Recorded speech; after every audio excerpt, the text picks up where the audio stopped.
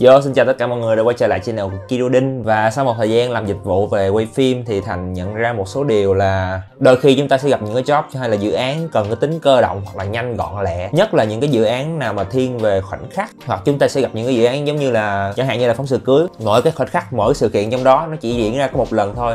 Nên là chúng ta không có nhiều thời gian để có thể set up Thailand hoặc là thay pin chẳng hạn hoặc là không phải lúc nào chúng ta cũng có một người đi theo phụ chúng ta, chẳng hạn như một bạn AC một bạn phụ máy đi theo phụ chúng ta suốt cái ngày quay được. Thì hôm nay hôm nay thành sẽ làm một cái setup, best camera setup.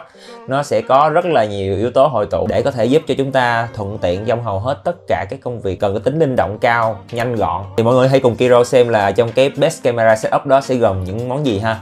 Đây là món đầu tiên không thể thiếu trong cái camera setup của chúng ta, đó chính là cái thân máy. Thì ở đây anh sẽ chọn cái body Fujifilm X-T3 một cái rig cache để có thể rig được cái phụ kiện lên trên đây.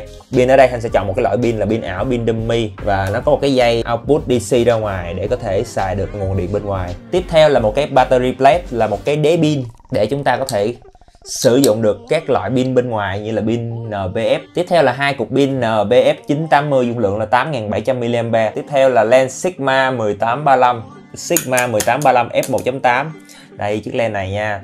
Chiếc lens này rất là hot nhưng có một vấn đề khi mà chúng ta sử dụng cái body Fujifilm X-T3 này thì chúng ta sẽ không sử dụng được cái lens này vì đây là lens ngàm Canon còn đây là ngàm Fuji FX đây là cái ngàm chuyển Fringer EF FX Pro 2 thì uh, với cái ngàm này chúng ta có thể sử dụng lens Canon ở trên body Fujifilm. Và tất nhiên đánh nhanh rút gọn thì các thiết bị chống rung chúng ta không thể nào sử dụng là dolly hay là tripod thì ở đây thành sẽ chọn là chiếc gimbal này Zhiyun Ren 2 lý do tại sao mình chọn cái gimbal cũ này cái gimbal này có tuổi đời cũng khoảng vài năm rồi đó so với lại những cái gimbal mới hiện tại. Cái gimbal này được một cái nó rất là khỏe mà mọi người. Cái gimbal này mình dùng cân con Blackmagic Pocket 4K full setup Blackmagic Pocket 4K luôn nha. Ngoài ra thì nó rất là dễ sử dụng, nó cực kỳ ổn định.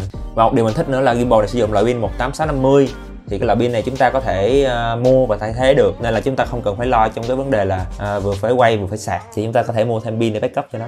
Tiếp theo sẽ là một cái extra mount trên cái gimbal để chúng ta có thể rig được rất là nhiều phụ kiện lên trên cái gimbal. Chúng ta có thể rig được monitor pin ngoài mic chẳng hạn. Và đây là cái top handle đến từ UU một cái top handle để thuận tiện cho cái việc setup rig handheld. Và monitor thành chọn cho cái setup này là F6 Plus để thuận tiện cho việc review và xem hình ảnh ngoài trời. Và xong, đây là tất cả những thứ mà chúng ta cần cho cái best camera setup. Thì chúng ta sẽ đến với setup đầu tiên là setup handheld nha. Ok, và thành sẽ rig một cái setup handheld cơ bản của cái body Fuji XT3 này.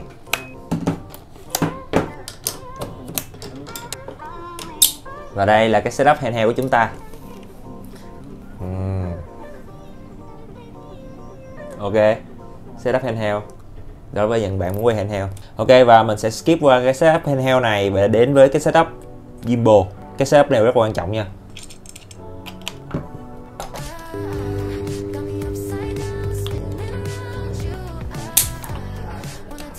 Cái battery plate này sẽ giúp cho chúng ta có hai cổng ao. một cổng ao là 12V sử dụng cho monitor và một cổng ao là 7.4V mình sẽ sử dụng cho body. XT3 thì ở đây mình sẽ sử dụng pin BF 980 nếu mà chúng ta sử dụng cái pin này riêng với lại ờ, cái body XT3 không á, thì chúng ta có thể quay lên đến được 5 tiếng. 5 tiếng nha mọi người. Thì 5 tiếng là có thời gian rất là dài. Ừ, nếu mà bạn quay ngắt suột nữa thì sẽ còn lâu hơn nữa. Thì có nghĩa pin này sẽ duy trì cái thời lượng quay cho chúng ta cực kỳ là lâu. Hoặc nếu bạn sử dụng với lại monitor thì nó sẽ nhanh hết hơn, sẽ rơi vào khoảng hai ba tiếng gì đó, mình nghĩ là vậy mình chưa có thời gian test nhưng mà mình nghĩ sẽ cũng rất là trâu thì mọi người chỉ cần chuẩn bị cho mình hai cục pin NBS 980 là mình có thể chiến cả ngày luôn. Vậy thì mình vừa mới show cho mọi người một cái setup sẽ đảm bảo rất là nhiều tiêu chí nhanh, gọn, lẹ nha. Thứ nhất là về thời lượng pin, mình không cần phải thay pin quá nhiều lần vì cục pin này có thể quay được tới 5 6 tiếng là chuyện bình thường. Thứ hai là chúng ta không cần phải thay len vì cái len này là len 1835 chúng ta có thể đáp ứng được hầu hết các nhu cầu quay liên tục. Nếu mà sử dụng trên gimbal quay liên tục nha, thì mình có thể có được cái tiêu cự là toàn đến trung cận ok cái len này rất là đẹp rất là ngon. Thứ ba khi mà chúng ta sử dụng cái ngàm Fringer này chúng ta sẽ có khả năng lấy nét liên tục thì chúng ta sẽ không quá lo về vấn đề bị trượt nét nữa vì cái ngàm này sẽ giúp cho chúng ta lấy nét cực kỳ nhanh luôn. Và còn một điều mình thích ở setup này đó chính là chất lượng file vẫn rất là đảm bảo. 4K 60 frame 10 bit chúng ta có thể sử dụng cái chất lượng file này quay ở hầu hết tất cả các job. B-roll, TVC, lookbook, phóng sự cưới, MV tất tần tật và tất nhiên là khi mà show một cái setup này thì phải có footage chứ. Thời gian qua thành chưa có được đi quay nhiều, nhưng mà thành chỉ được quay khoảng hai lần với cái setup này thôi. Và đây là cái footage mà thành quay handheld với lại cái setup XT3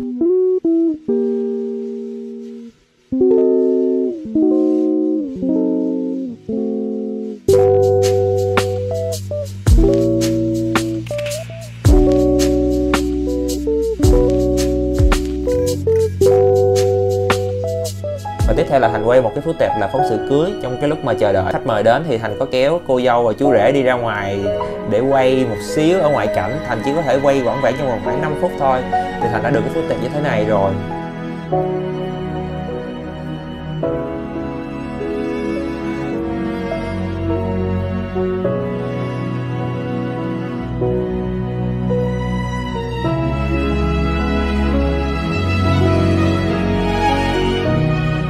Và hôm nay thành vừa mới show cho mọi người xem cái setup của thành uh, build sau cái setup Blackmagic Pocket 4K thì đây là cái setup quay phụ của thành để có thể sử dụng đánh những cái job nhỏ những cái job nào mà mang tính nhanh gọn và thuận tiện hơn.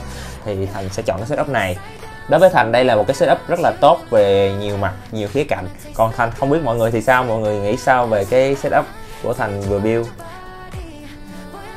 Hãy cho ý kiến dưới phần bình luận nha và cũng rất là nhiều anh em hỏi là thành đã build cái setup Blackmagic Pocket 4K như thế nào thì thành sẽ cố gắng trong thời gian ngắn nhất thành sẽ làm một cái vlog nói về cái setup Blackmagic Pocket 4K thì uh, mọi người hãy đón chờ xem vlog tiếp theo của Kirodin trong thời gian tới.